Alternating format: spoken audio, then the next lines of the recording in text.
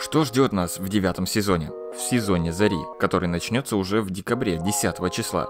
Официальный анонс новой порции контента еще только готовится. Доподлинно неизвестно, кому будет посвящен сезон, но уже объявлены множество важных нововведений и изменений в балансе.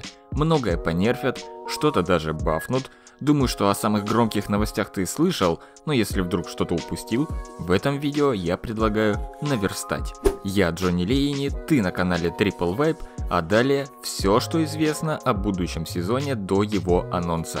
Итак, как я уже сказал, стартует новый сезон 10 декабря продлится ориентировочно 2,5-3 месяца. Чтобы получить весь предлагаемый новым сезоном контент, вам нужно будет купить его отдельно, прямо в игре, за Silver UTS Everest. Но если у вас куплено дополнение Обитель Теней в Deluxe версии, то ничего доплачивать не нужно.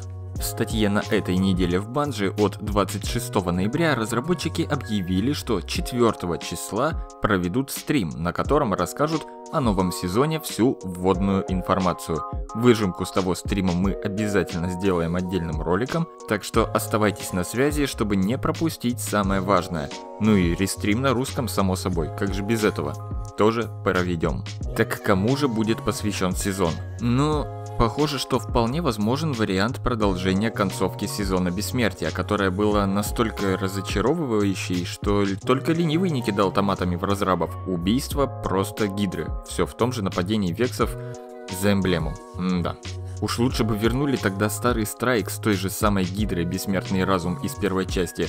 Мы бы могли отправиться туда, убить его там, или преследовать в тех старых локациях и через портал продолжить погоню в новых локациях из атаки вексов. Можно было так начать новый экзот-квест на какой-нибудь векс-мифоборец или получить имаголуб. Можно было бы, но мы получили, что получили – так или иначе, да, убийство сотен разумов как-то повлияет на развитие вселенной и об этом нам обещают рассказать в других сезонах. Даже глядя на анонсирующую шапку к стриму, можно разглядеть текстуры, напоминающие сооружение вексов, что тоже намекает, что с железными друзьями мы еще увидимся. Что, опять вексы? Как кабал, только вексы? Где дальше развернутся наши с ними сражения? Может мы вернемся на Меркурий или будем и дальше углубляться в сеть их порталов в Черном саду? Как знать. Пока все еще не получили точной информации о контенте, который добавят. Зато есть информация о том, какую часть контента заберут с наступлением нового сезона. Например, получение печати и звания бессмертный будет больше невозможно. С карты Луны пропадет активность атака вексов.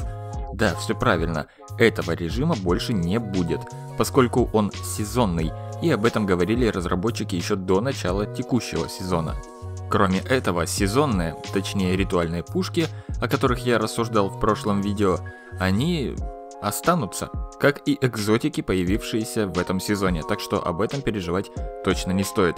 А вот о сезонном артефакте Глаз Владыки Врат, который появился в вашем инвентаре в начале сезона Бессмертия, можно немного и погрустить. Артефакт пропадет из арсенала игроков в финале сезона, и ему на смену придет другой, пока что безымянный артефакт с новыми модами и свойствами.